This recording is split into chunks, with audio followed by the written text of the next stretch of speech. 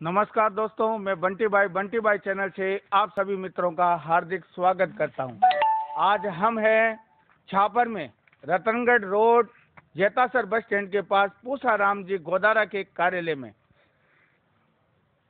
और हमारे बीच है पूसा राम जी के कार्यकर्ता, जो कार्यालय के अंदर मीटिंग कर रहे हैं।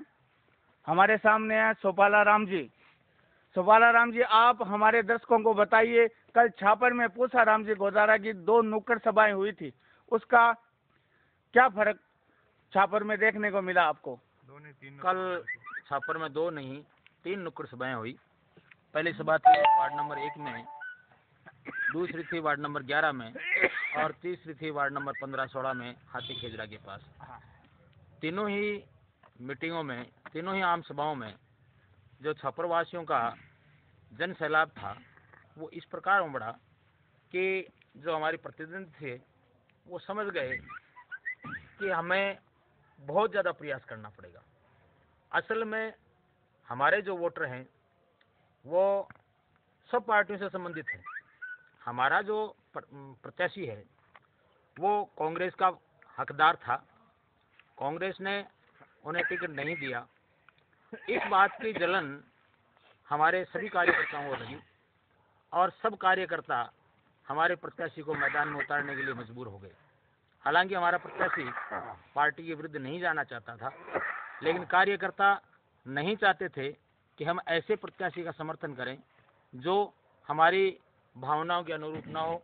हम जिन, हमारे जिन लिए जिन नेता ने कार्य किया, उस कार्यकर्ता, उस नेता को छोड़ करके कार्यकर्ता किसी दूसरे नेता के साथ काम करने में खुश नहीं थे। उसी समय क्या हुआ? बीजेपी के जो नेता थे, वो भी बदल दिए गए। तो बीजेपी के कार्यकर्ताओं में भी असंतुष्टि थी। हमारे जो प्रत्याशी हैं, वो आम जन के नेता हैं।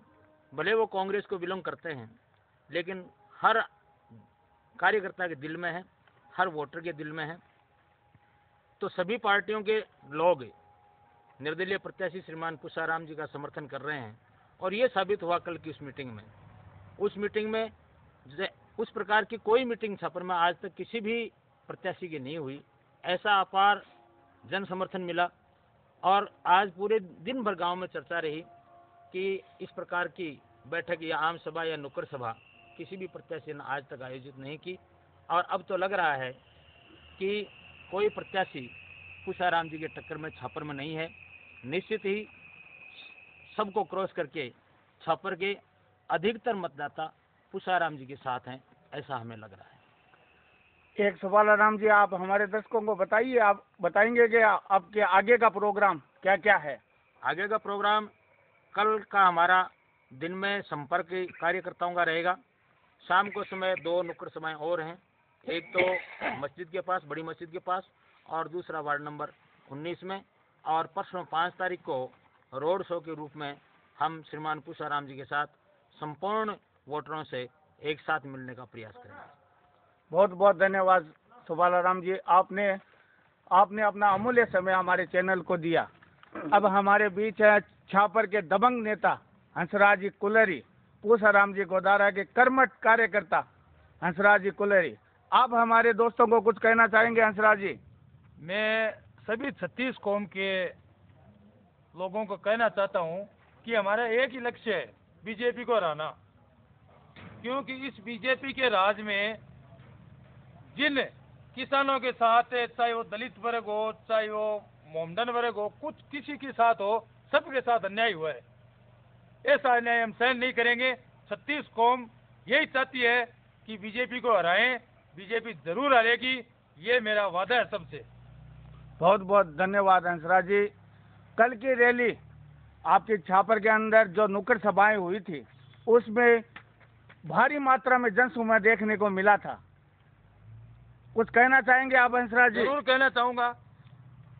जो भी विपक्ष की पार्टियाँ हैं, उनमें खलबली मची हुई है कल से कि ये क्या हो गया?